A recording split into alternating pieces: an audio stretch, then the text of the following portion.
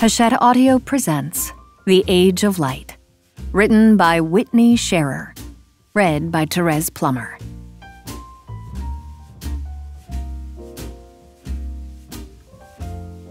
For my mother, with love and gratitude. Surely all art is the result of one's having been in danger, of having gone through an experience all the way to the end where no one can go any further. Rainer Maria Rilke.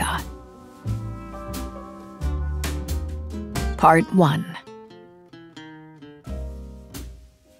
Prologue Farley Farm, Sussex, England. 1966. Hot July. The downs have greened up from the past week's rain and rise into the sky like mossy breasts. From the windows in Lee Miller's kitchen, she sees hills in all directions. One straight gravel road. Stone walls made long before she got here that divide up the landscape and keep the sheep where they belong. Calmly chewing. Her husband, Roland, with his walking stick, wends his way along the bridle path. He has two of their house guests with him and stops to point out a mole's burrow that could break an ankle or a cowpat that might be a little too much country for some visitors. Lee's herb garden is just outside the kitchen and about as far as she ever chooses to walk. Roland stopped asking her to join him on his constitutionals years ago, after she told him that until he puts a sidewalk on the downs and lines it with cafe bars, she's not going to be wasting her time tromping through the hillsides. Now she thinks he welcomes the time apart from her as she does from him. Each time she watches him leave, the hand that's clenched around her throat loosens a little. Of all the rooms at Farley Farm, the kitchen is where Lee is most content. Not happy, but content. No one goes in here without her, and if they did, they could never find what they were looking for. Spice jars teeter in uneven towers, Pots in various states of filth cover the counter and fill the sink. Containers of vinegar and oil stand open on the shelves. But Lee knows where everything is at every moment, just like she used to know in her studio. The clutter confounding to everyone except her. When Dave Scherman, her photography partner during the war, used to come into her room at the Hotel Scribe, he'd always have some cocky comment ready Ah, making an installation piece out of used petrol cans, are we, Lee? And she thinks of him when she's in her kitchen and wonders what he'd say to her now. Dave is one of the few of her War Days friends who hasn't made the trek out here to see her. She's glad of it. The last time she saw him, back when they were all still living in London. Lee overheard Dave say to Paul Eluard, that Lee had gotten fat and lost her looks, and that not being pretty was making her angry. Which isn't true, of course. There is so much more that's making her angry than the stranger who greets her in the mirror each morning, burst blood vessels blooming across her puffy face. Lee trained at the Cordon Bleu a few years ago, and now she makes multi course dinners almost every weekend and writes about them for Vogue. She is the magazine's domestic correspondent. Before that, she was its war correspondent, and before that, she was its fashion correspondent. And before that, she was its cover model. In 1927, an Art Deco sketch of her head, cloche pulled low like a helmet, ushered in an era of new modernism in women's fashion. A remarkable career, everyone always says. Lee never talks about those days. Vogue is on Lee's mind because Audrey Withers, her editor, is coming to dinner tonight. Audrey is most likely coming to fire her and making the journey to Farley to do it in person. Lee would have fired herself long ago, after the 20th missed deadline or the 10th familiar pitch about entertaining in a country home. She's loyal, though. Audrey, and the only fashion editor who ever tries to tell women about something more important than the latest trends in evening wear.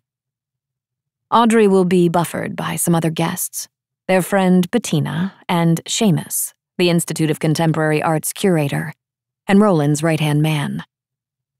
Lee thinks that Audrey will not be able to fire her in front of Roland's friends. Maybe she can feel her out, turn things around, find her way back in. Tonight's menu is a variation on one Lee has served before. 10 courses. Asparagus croûte with hollandaise, scallop bruschette with sauce béarnaise, tots of vichyssoise, penroses, mini toad in the hole, Muddle's green green chicken, gorgonzola with walnuts, beer braised pheasant, a ginger ice, and Bombe Alaska served flambe style with the lights turned low. If Lee can't work for Audrey, she will kill her with butter and cream and rum soaked meringue. When Lee was reporting back from Leipzig and Normandy during the war, Audrey was often the only person she would contact. Lee sent her those first photos of Buchenwald, and Audrey ran them with the story Lee had pounded out on her little Hermes baby, fueled by benzedrine and brandy and rage. Audrey ran her words exactly as Lee had written them, with the headline Believe it. And the photos full bleed, huge on the page in all their gruesome glory. Didn't care that somewhere in Sheffield, a housewife turned from one shiny page advertising the latest Schiaparelli gloves to a bruised and beaten SS guard on the next, his nose broken and his pig's face covered in thick black blood. It is noon, and Lee starts on the penroses, a dish she invented of thick closed mushrooms stuffed with piped pâté de foie gras and topped with paprika to look like the roses that grow at the edge of the herb garden. They are easy to do incorrectly, and the entire process takes hours. Roland often gets angry at her because she'll say dinner at 8 and it will be 9, 10, 11 o'clock, and all the guests will be tired and drunk by the time she brings out the first course. Lee shrugs him off. Once, she made a grilled bluefish in homage to a Miro painting, and even Roland agreed that it was worth the wait. Tonight, though, Lee will be on time. She will emerge from the kitchen calm and regal, and dish after dish will reach the table like performers in a well executed dance.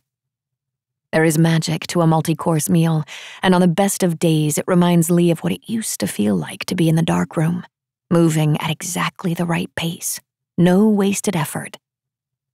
Lee finishes the penroses and leaves them on top of the icebox.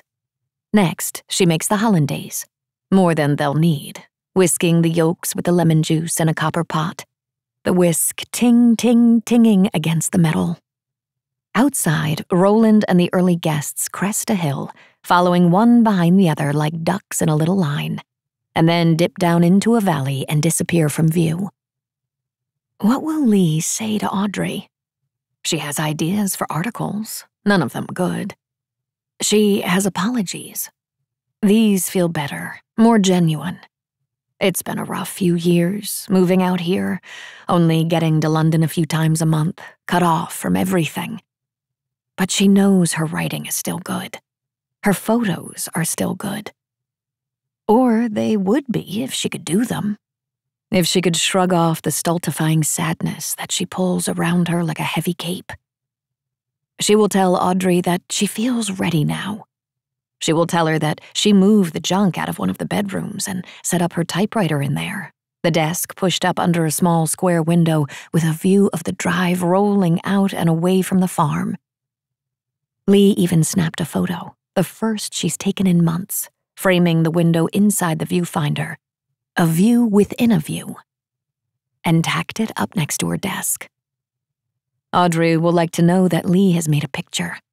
That she sat there, running her fingers over the typewriter's dented sides, watching the chickens peck their way across the drive. When Audrey asks, Lee will offer her sharp, incisive sketches of country living. She will give her anything she wants of this life of hers, on time, with photos if she can manage it. By four o'clock, Lee has prepped almost everything and set up her mise en place the small bowls filled with chopped marjoram, sea salt, anchovies, cayenne, and all the other spices she'll need to make the meal. She adds an ice cube to her tumbler and goes into the dining room. there is a long, pockmarked trestle table, big enough to hold 24 people. The fireplace at the end of the room calls to mind Henry VIII, roast suckling pigs, flagons of wine. Above it hangs Picasso's portrait of Lee, which has always been the image of herself she likes the best. The way he captured her gap toothed smile. Around it are some of their favorite pieces from Roland's personal collection, crowded up against one another. Ernst next to Miro next to Turnbull. Over the years, they've mixed in some unknown surrealist pieces as well. A taxidermied bird lying upside down on one of the frames, a railroad tie with a giant mouth. We hope you enjoyed this preview. To continue listening to this audiobook on Google Play Books, use the link in the video description.